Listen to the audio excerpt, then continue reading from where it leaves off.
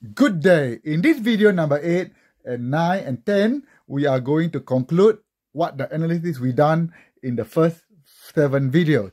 So the first conclusion is that we are going to compare the median and the IQR. So one median of one category against the IQR of another and the other median from the forward against the IQR of the back. So let's read the example, okay?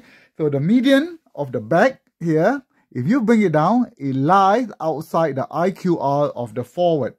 So at the same time, the median of the forward, if you goes up, it'll be outside the IQR of the back. So this is how we're going to answer this question. The median weight of the back rugby players, the median weight of the back rugby players lies outside the IQR of the forward rugby players in kilogram. At the same time, the median of the forward rugby players also lies outside the IQR of the back rugby players.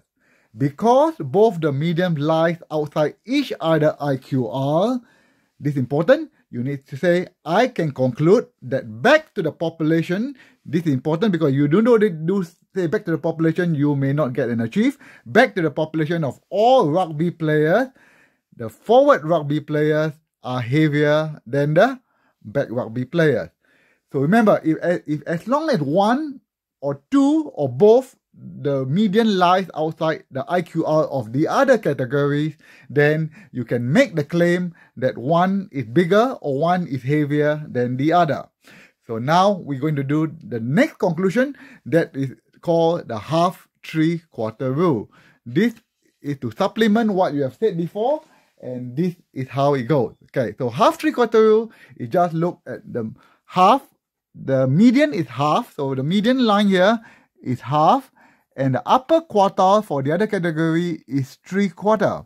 So if half is bigger than three quarter, then we can say that the forward is going to be heavier than the back.